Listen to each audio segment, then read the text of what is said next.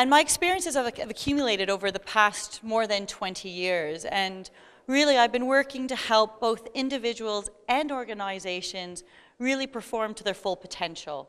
And I've been doing that through the design of physical workspaces, through the design of digital systems, and even through the design of business processes as well.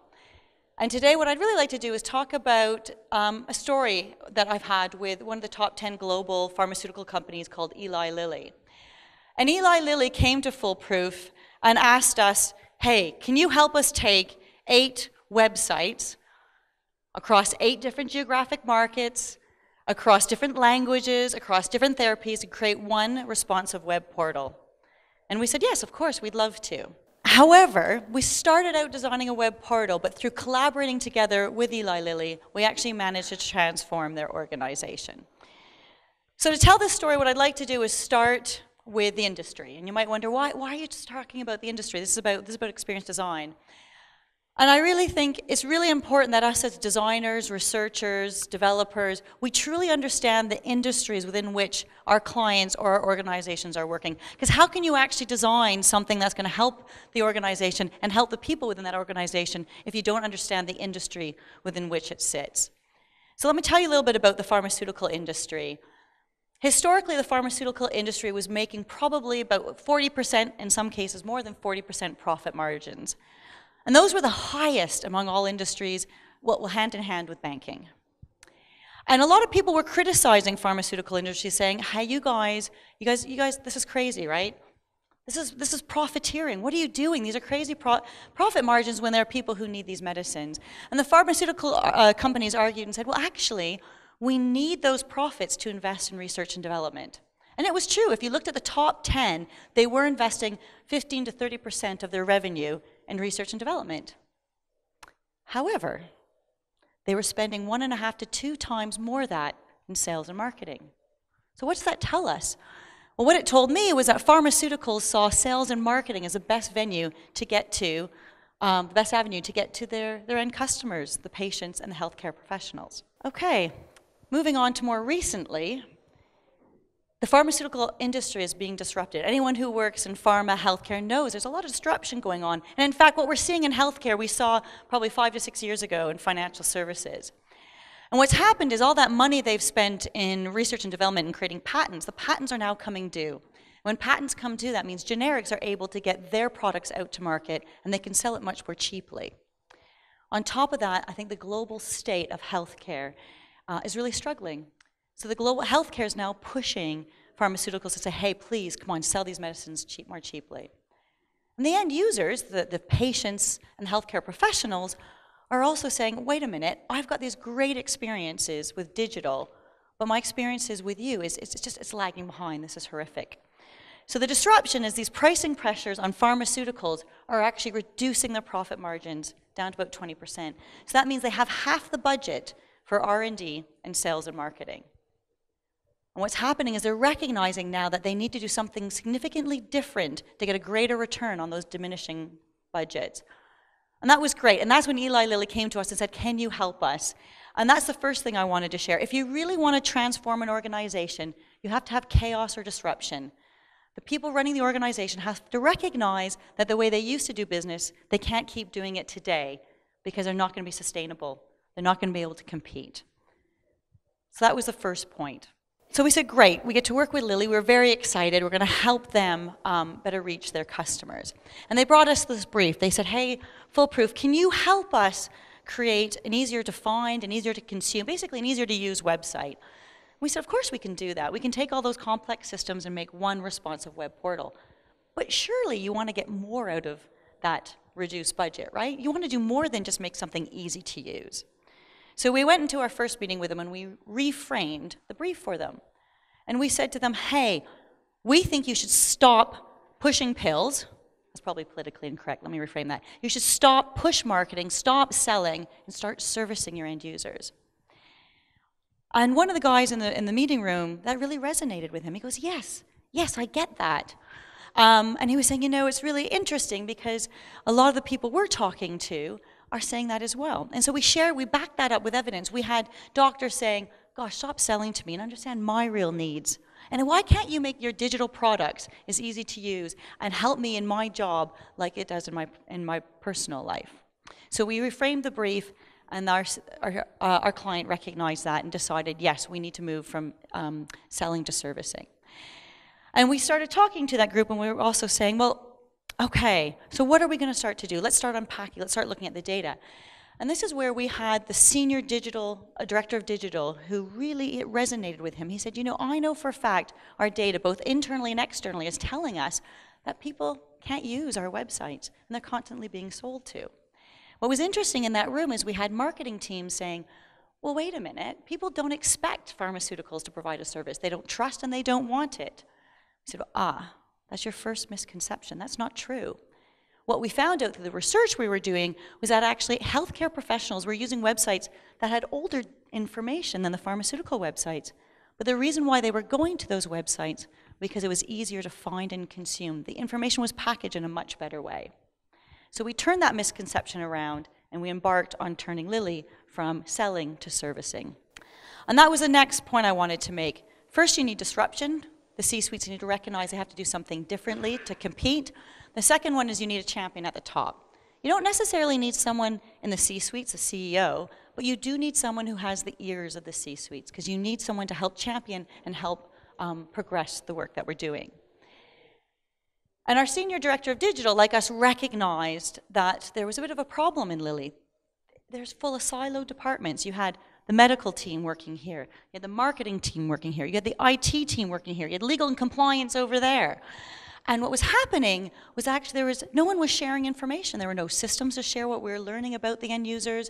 Um, there were power struggles. Goodness me, the power struggles were unbelievable.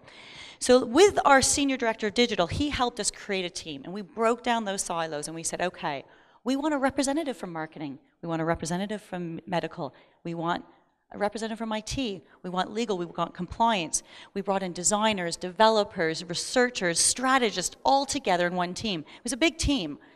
And this team was across the US, across the UK, across Europe, um, and it was quite a big team. And it was a really great way to just break down those silos and bring us all together. However, with many different voices and many different moving parts, gosh, we realized the success of this project hinged on having a North Star, a common vision of where we want to get to. So we brought all those people together in one room, face to face, and we invested upfront in a two day workshop to say, okay, let's take all the data we have, let's take the insight we've brought, and let's understand what should be the future. What is the experience vision for Lilly? What is that North Star we can all ascribe to? And we did just that. And what we're able to do is if you look on the left hand side, we identified what are the outcomes that Lilly needs to, to get. And on the right hand side, what are the outcomes healthcare practitioners need to get. And we start off with the basics, because obviously people need to be able to find the information. But what can we do to keep people on the site? What can we do people to explore? And we start with very functional needs, and we move up to the more emotional needs. So not only are we moving from selling to servicing, we're creating engagement, we're creating a connection with end users so that by the end of this, people become the advocates. They start doing the marketing work for you. Ha, that's how you take that reduced marketing budget and make it go further.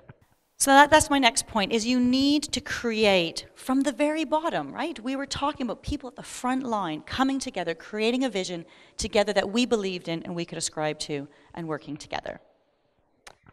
So the next step is we know where we need to get to. Let's start having some fun and doing some design. And this is where we face some of the biggest barriers. Surprising, right? You think herding cats together to come up with a vision would be hard. No, this is where we face the biggest barriers. So I think many of you recognize, you might look at the design double diamond, iterative design process, human-centered design. Hital, it was lovely to hear talk about ISO 9241 Part 210.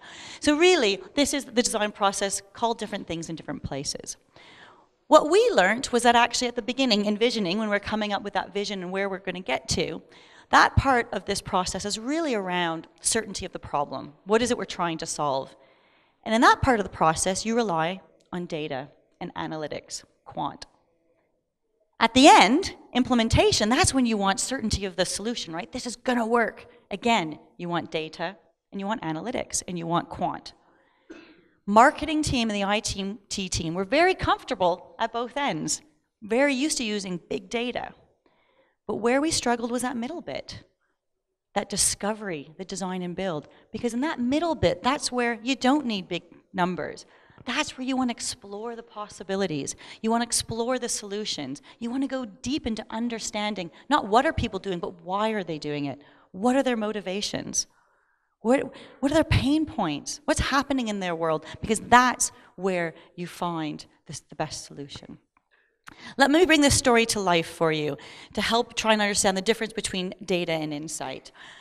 So we went into um, our first session, first workshop together after the visioning and discovery. And the marketing manager said, Leslie, don't worry. We've got all the research. You don't need to do any more research. Let's go straight into start solving some, some, uh, some of these problems. Let's get into design. Come on. I'm like, okay, let's give this a go. I'll give this a go. All right, let's come with some hypothesis. So we go into the big workshop. There's all those people from all over and marketing, and they brought in a management consultancy who said, GPs are time poor. Yes, that's a good piece of data. That's correct. Okay. As you know from the workshop Mario and Val did yesterday, you have to ask why. Why? Why are they time poor? Okay, and in the workshop, we all got together and we got some more data because they have 10 minute consultations. Yes, they do. Factual, correct data. But what is that telling us? Um, and Lilly also brought in some healthcare experts, behavioral change experts, and they brought a good piece of insight to that meeting. And they said, We know that patients struggle to form a real um, connection with GPs. And patients often say, GPs don't understand me, they're not really listening to me. And so someone got really excited. That's it. We are going to use digital to create a training program for consultants to have better uh, consultations. And I said, I'm, I'm not quite sure, guys. I think, we, I think we need to delve a bit deeper. And so we asked the question well, what does this actually mean? What's happening in these consultations? What's happening before and after these consultations? When we asked that question in the workshop, no one could answer it. And the marketing manager went, We have been working for 120 years in pharma with patients and doctors, and we can't answer this question? Oh my goodness. So, we did some what we call design anthropology. We went in and observed. We actually followed GPs around. We were in consultations. And that's when we went, aha. So, what really happened? What was the true insight? Well, actually, GPs only have one minute in between each consultation. So that means if you have a 10 minute consultation, the first five minutes, that GP is spending all the time using different systems and devices with often poor Wi Fi and 3G to figure out what medication was this guy on again? I can't quite remember. What's happened? What's the medical history? And then the next two minutes talking to that individual Have you seen any other specialists? What did your nutritionist say to you? What else is going on? So then, really, they only have three minutes left to actually do a proper consultation and engage with patients. So, had we gone down the first solution of designing a digital training to teach GPs how to run better consultations, they still couldn't do it if they only had three minutes. So, what we realized was no, guys, what we needed to do is design a solution, a digital solution that gives GPs back their 10 minutes. And that's what we did. And it was really great. And the whole team got excited and they understood the power and importance of qualitative research, what we call design research but it still wasn't easy. and I think for me, this was probably the biggest thing I learned out of this, this project um, was what I call the emotional roller coaster. In any design project you do, you've got to recognize this emotional roller coaster you go through as a team. So you have these moments of clarity. Ah, GPs only have 10 minutes and they don't they can't connect with their patients. Moments of genius, we need a digital training system. And then we started unpacking, ooh, hmm, moments of confusion, we're learning something new. Moments of, oh my goodness, I have no idea what I'm doing. To then moments of clarity again and moments of genius. And I think this emotional roller coaster, what I call the double diamond coaster, is really important to recognize and embrace. And so we stopped and we did just that. And we reminded ourselves to trust, to trust in the approach that we're using and to trust in how we're going to tackle this problem. Which leads me to my fourth point. If you want to transform an organization, if you want to really break down the traditions, the traditional beliefs, you have to bring that team together, work from the bottom up, have a vision, and take them on that journey. Bring them on that journey of learning and collaborating. And in fact, looking back on it, there were two things that sort of really resonated for me about the success of doing this and how we helped transform the organization. And the first one was we had a marketer based in the US, um, and she was our hardest critic. Goodness me. After every iteration we'd go through of, of research and design and evaluate and build, she was constantly saying, You're not testing with enough users. You're not talking to enough people. You, you know, this isn't going to work. And we would fight, and it was really difficult. But after a while, after about two or three or four iterations, she became our strongest champion. And she started championing customer experience all across Lilly. It was amazing. And in fact, the marketing department, they used it in their own words. That's another view of transformation of an organization. Instead of them regurgitating what we said, they said, hey guys, we need to stop push marketing and start creating the pull. Amazing, right? This was their language, and that's the way Lilly now talks about customer experience. And of course, you still need the data, right? And we also found um, where they used to have about a thousand visitors per year, they were now getting a thousand visitors per month. So our senior director of digital was pleased, uh, and it was a really, really great outcome. So to summarize, if you really want to transform an organization, moving them from um, marketing-led, data-led, and really truly embracing customer experience, there are four things that need to happen. First, the organization needs to have some sort of form of disruption, chaos, to recognize, actually, we have to do something different because this ain't working. They also, you also need a champion that can help you within the organization to facilitate the right people to bring them together. You need one team coming together from the bottom up, creating a vision that everyone believes in. And finally, you need to bring them on that journey. And the success of this collaborative working together was amazing. Not only were we able to get a product, the right product first time out there in a cost effective way, I think even more deeply, everyone actually genuinely, personally felt rewarded by working on this project together. And by everyone feeling that personal reward, they were able to then tell the story to their colleagues, and it grew and it continued to grow. So now, not only are we working with Lilly for diabetes and this web portal. We're also working within animal health, and it's really starting to propagate. Like dropping a petal in a pond, that CX, that new strategy of being servicing is now across the organization. Thank you very much. Uh, I think we have time for a few questions, if anybody has one. I have a question. So I worked on a similar project for Apollo, and the same question was that they want to digitalize everything and they want doctors to parallelly write what a customer is saying or a patient is saying with all the medicines they're suggesting, whereas they have limited time to do so. So a system how when you also say that they have 10 minutes only. And they have to listen also, give a suggestion also and that fill that digital website that can be reused, what kind of solution you suggest? And what exactly you did to bring that three minutes to 10 so yes a good question. There's, there's two things we did. So first when you look at the web portal what was happening it was lilly like many other pharmaceuticals you remember when you, you know when you open up a medication you get that massive piece of paper with a plethora of information we broke that down into usable chunks and recognized GPs need different information at different times. So basically, that was more around the information design and information architecture to make it easy to find and consume. So that was the first thing we did. In the 10 minute consultation, that was specifically working with a diabetes team, and we worked on creating an app for patients. I can't go into too much information, but really the essence of that app was giving the patient more control, giving them control of their life. It was a big shift, right? This is something a patient's going to own so that they can go into that GP consultation and say, here's a snapshot, here's a dashboard of me in the past six months, and you can uh, consume that in two minutes.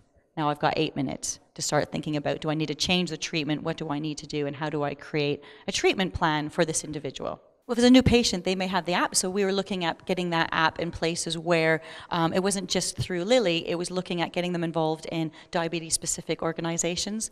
So it was be beyond, beyond just Lilly. It was getting the drug reps with the doctors, but thinking about diabetes specific communities talking about this app. Hi, Leslie. Uh, one question I have is like, you know, what you are talking, I can understand is from a, a, UK or US background where you have GPs where all connected and everything has that.